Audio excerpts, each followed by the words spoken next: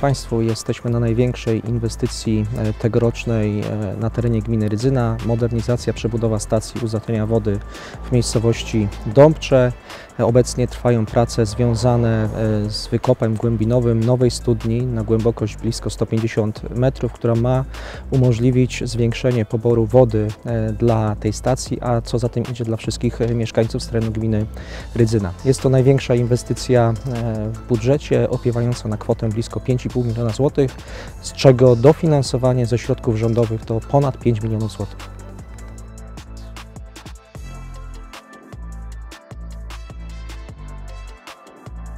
Jesteśmy w miejscowości Dąbcze przy ulicy Łącznikowej. Dobiegają końca prace związane z przebudową odcinka drogi e, ponad 500 metrów wraz z kanalizacją e, deszczową oraz chodnikami.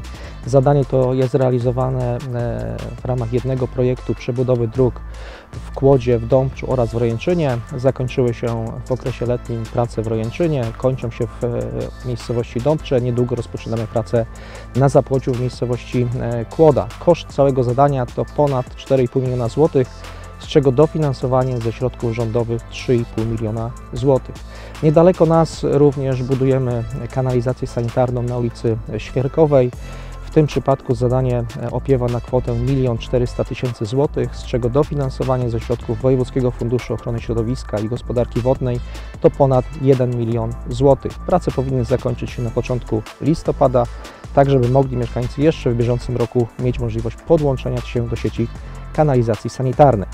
Niedaleko nas również w ramach projektu sadzenia drzew miododajnych e, wzdłuż ulicy nad zalewem zostały posadzone e, drzewa akacje. Zadanie to zostało zrealizowane ze środków Urzędu Marszałkowskiego Województwa Wielkopolskiego oraz środków budżetu gminy w łącznej kwocie ponad 40 tysięcy złotych, z czego dofinansowanie ze środków Urzędu Marszałkowskiego ponad 20 tysięcy złotych. Razem e, z drzewami, które są na ulicy nad zalewem, posadzone zostaną drzewa również w Tarnowej Łące oraz w miejscowości Rydzyna.